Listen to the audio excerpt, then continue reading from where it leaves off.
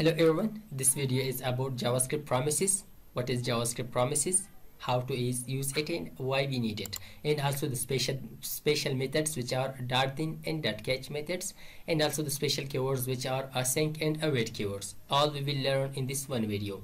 So let's uh, first of all move to the JavaScript. This is the JavaScript code okay that we have written. It will run sequentially. How I we have written so it will run sequentially. For example, I will run it see it will learn uh, how we have written okay? It, it is running sequentially. But if we would like to access the data from the database or from a file or to uh, just uh, run an API to access data from an API so we cannot access or run that sequentially directly. So we that will return um, a promise to us. So now what is a promise? So let's define the promise.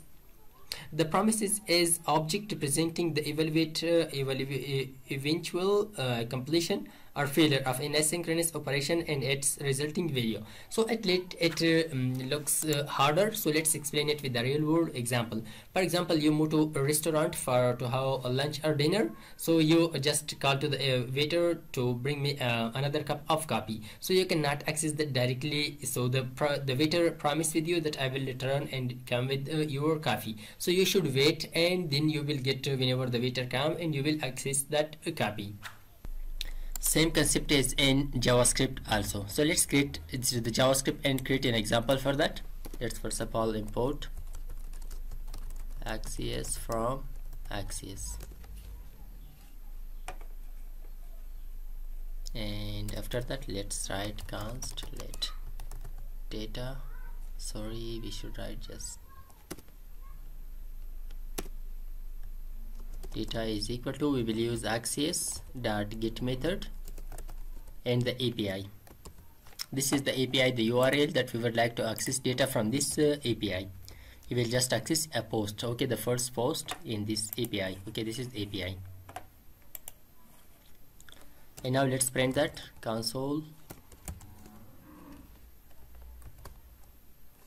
console dot log uh, we will print just the data.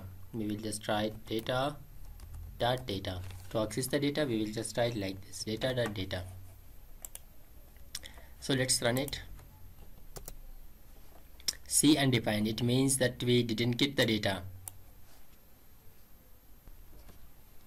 So the reason is that it uh, um, first of all process it and then it will return the result.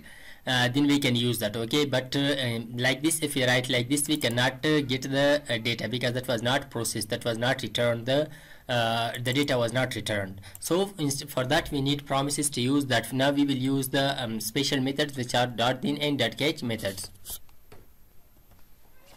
So I wrote this code okay? Axios.get this is the URL that we wrote and then we use. dot then and dot catch these two methods will use this whenever it uh, runs then it will execute it okay? Otherwise it will not execute it. It will wait until it returns the result then it will be executed. If that was true if there was no error in the url so it will uh, execute this uh, method. Otherwise if there was any error so it will uh, just uh, uh, run this catch method. So now let's try it. Let's see we got that post okay? The first post id title and body. This was the first post but if there is um, an error for example let's write like this. There is no um, id like this one. So let's try it now. What we get in the response? See it uh, returned a result. See uh, it returns an error so this is the error which has uh, printed. It means that if, if we uh, let's run another url this is http state, state uh, url and we use 404 for that. So let's run it now. See we got this data code 404 and description not found Uh, so now I wrote just this line of code. So now let's check it okay? Uh, is it first of all return this uh, statement return this post this data or it print uh, first of all this code for us? So let's try it. See first of all it printed just uh, um, the after code okay this statement. It means that uh, it will wait just these two blocks okay? These two blocks will wait whenever the result return from this uh, url other other codes will return sequentially okay? There is no um, uh, reason for it. So to wait uh, for it and uh, run all code sequentially so for that now we will use async and await keyword. So for that we need a function to create first of all. So let's create that. So to use the async and await uh, um, keywords we will first of all assign this async to the function and then we will write await keyword here it will not um, run it will not just execute this code until it return the result. So let's try it and see see it has returned the result. Okay?